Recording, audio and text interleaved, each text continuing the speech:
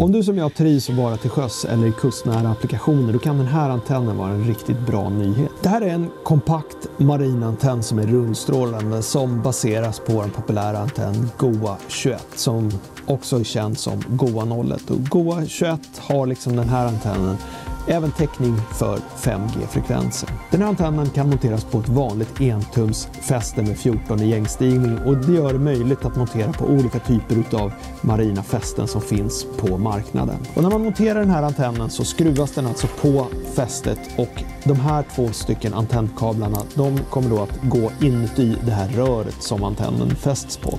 Och längst ner så sitter då två stycken SMA-antennkontakter och de skarvar man i någon form utav antennkabel för att sedan gå vidare till router, modem eller vad det nu är man vill ansluta den här antennen till.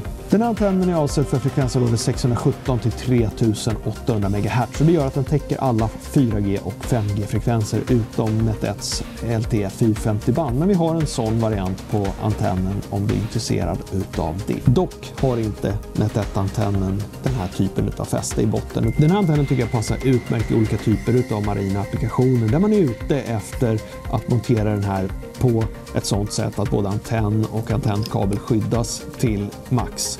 Och den här antennen kan ju användas inte bara naturligtvis på fartyg utan även i kustnära miljöer eller i andra miljöer där man vill ha en diskret installation där allt i form av antennkabel även ska kunna vara skyddat mot åverkan till exempel. Sammanfattningsvis en diskret och kompakt antenn för 5G och 4G-banderna.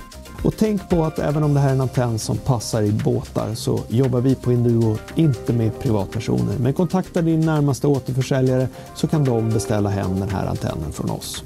För mer information om den här antennen och andra rundstrålande antenner från Induo besök vår hemsida www.induo.com.